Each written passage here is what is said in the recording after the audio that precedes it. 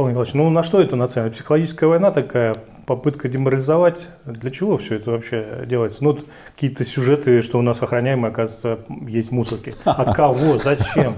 Ну и вообще какая-то ерунда. Мне кажется, настолько смешно уже. Люди просто это, животы разрывают. Даже не видел. А, вы даже не видели. Последний сюжет был на тему, это вот меньше там 20 часов, я случайно его обнаружил, что некто из веков рассказывает что оказывается, по его мнению, а, метро Кашенкери, магазин, который находится на соседней, там, около Опаринок, залили, залили ливневыми э, водами совхоз Гнилень. То есть, понимаешь, это абсурд абсолютный. Почему? Потому что никогда ни с одного поля не было никакой ливневой канализации, потому что ее не бывает. Бывают ручьи, бывают э, пруды, бывают э, ну, там, естественные истоки воды с полей. Ну, и, кстати, когда это метро кэш carry открывалось, мы написали в Минстрой письмо о том, что давать им разрешение на ввод в эксплуатацию нельзя, потому что не решен главный вопрос. Для нас главный. Ливневая канализация не предусмотрена. А люди, которые давно живут э, в нашем регионе, в Ленинском районе, знают, что когда-то а, вот эта дорога, которая идет на Малое Видное, там был прокол, причем достаточно большой. И вода по ручью уходила в пруд, какой, который был в Опаренках. Мы его специально, тогда он был искусственный, потому что там было болото, мы его специально, совхоз Ленина, выкопал. А, потом у нас эту землю забрали разными путями, ну, в, общем, в период 91-95 года прошлого века. И там засыпали этот пруд, Забили эти ливневые стоки, ручьи, все выровняли, сделали там какие-то склады неимоверные. А вот никто не озаботился тем, куда пойдет ливневка с этой территории. Потом пришло метро. Мы когда-то для того, чтобы построить школу, выселяли Москворецкое подворье и вынуждены были поменяться с ними землей. Ну и мы им говорили, ребят, смотрите внимательно. Под вот этой дорожкой, которая через железную дорогу идет, обязательно должен быть прокол, и вода должна уходить. Вот. Они его забросили, потом продали этот земельный участок метро, и метро стало строить. Несмотря на то, что там действительно вопрос не решен. Вот. Они построили даже больше. Э, рядом там еще одна организация. Они между собой этой организацией построили бетонную э, стенку, которая, по их мнению, должна была сдержать воду. Но это невозможно, потому что надо понимать, что как только вот такой э, паводок, как в этом году, то вся вода куда-то пойдет, она никуда не денется. Стоять она там не будет. Ну, в результате стала заливать Каширское шоссе и заливать э, метро Кашаткери. Причем, когда мы с ними общались, э, мы там писали им письма и говорили, что давайте, есть же насосные станции, можно ставить, если не хотите, э, значит, кидать в ту сторону, где опаренки, вы можете скажем, перенести это все, ну, естественно, напорным коллектором ливневой канализации, можете отправить это все в пруды совхоза Ленин. Но это тоже работа, деньги. Вот раздел проходит как раз посередине э, земельных участков. То есть половина сливается в наши пруды, а половина идет как раз в Апаринский пруд, ну бывший пруд, потому что сейчас там его уже нет. Вот, вот бездарная абсолютно глупая, э, э, ну скажем так, политика застройки всего и вся, всякими там живопырками, складами, еще чем-то, без там, проработки, без геоподосновы, без скажем так, э, разработки проектов, в том числе и ливневой канализации, вот привела к этому. Ну, это, кстати, повсеместно. Я смотрю, в пригороде лесное там затапливает, потому что никто не думает о, о том, куда же все-таки будет уходить там дождь, э, ливневые стоки. Когда-то мы, э, совхоз имени Ленина, я имею, делали очень много, и сейчас делаем. Содержим плотины, угу. значит, обслуживаем а, пруды, чистим их, значит, строим новые мелиоративные сооружения, это тоже факт. Но из-за того, что люди, застройщики, экономят деньги, не решают никаких вопросов, а в, а всяких вот этих вот администрациях района, поселения, области сидят абсолютно некомпетентные люди, которые не хотят ну, думать о будущем, мы в результате получаем генпланы, которые делают жизнь людей невозможной.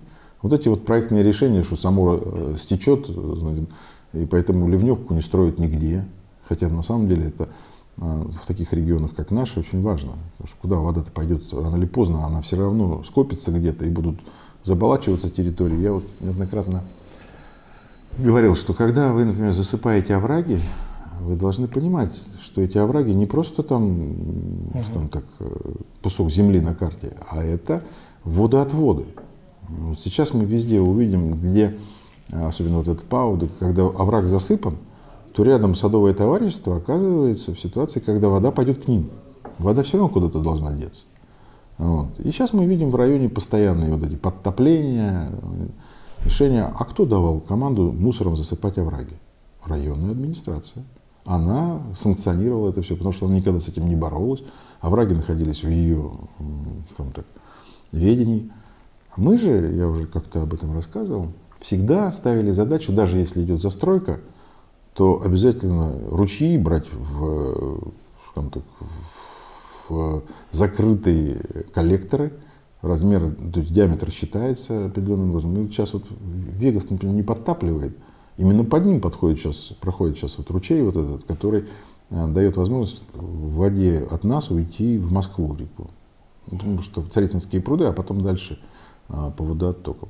То же самое проходит в Тойоте, там тоже под Тойотой лежит огромная труба, которая позволяет ручью, который там был, уходить в сторону прудищ. Вот. Но для этого надо понимать, что такое планирование территории, понимать, как нужно сделать э, так, чтобы люди не пострадали. Вот. Но для этого надо обладать специальными знаниями, а эти временщики, которые приходят, и тут я говорю, тут я слушаю этого Извекова и понимаю, что он вообще ничего не понимает. Ну, он выступал и по дороге а, новой из развилки. Пытался, значит, объяснить, угу. что здесь дорогу нужно проводить, а Павел Николаевич вот опять же встал на пути э, лучшей жизни людей. Вот что там происходит, Павел Николаевич, с этой дорогой сейчас? Слушайте, ну вот опять же, э, абсолютно безграмотный, абсолютно бестолковый человек. Потому что для того, чтобы строить дорогу, надо понять сначала, на чем ты ее строишь. Ну, это не только... Павел Николаевич, но он же только комментирует. Ну ладно, бестолково, а Даже инициатива не от него исходит. Прежде всего надо понять, что он не только комментирует, он вместе с головой, так называемым, ну, исполняющим из головы, туда приезжал. Вот. А поскольку знаний мало ни у главы, ни у этого вот, э, начальника территориального управления, никакой, никаких знаний, никакого опыта нет, они принимают, э, на их взгляд, вроде как э, решение обоснованное, на самом деле абсолютно бездарное. Почему? Потому что если бы был человек, который понимает, он бы сказал, слушайте, покажите мне геоподоснову. И понял бы, что там, где они собираются строить дорогу, там на самом деле лежат кабели, которые не позволяют над кабелями построить вот эти вот э, дорожные, то есть ну, провести дорожные работы. Потому что, хорошо, вы что-то сделали, а потом как мы будем обслуживать кабели? А там шесть кабелей, причем они э, являются основой жизнедеятельности котельной, э, КНС, все школы, детские сады, ну все, весь совхоз сидит на этих кабелях. И поэтому, если один из этих кабелей порвется, то совхоз окажется в ситуации, где не будут работать ни насосные станции, ни котельные, ну, в общем, электричество не будет полностью. Вообще, если бы они соображали, они бы сказали, слушайте, этого делать нельзя вот в этом месте.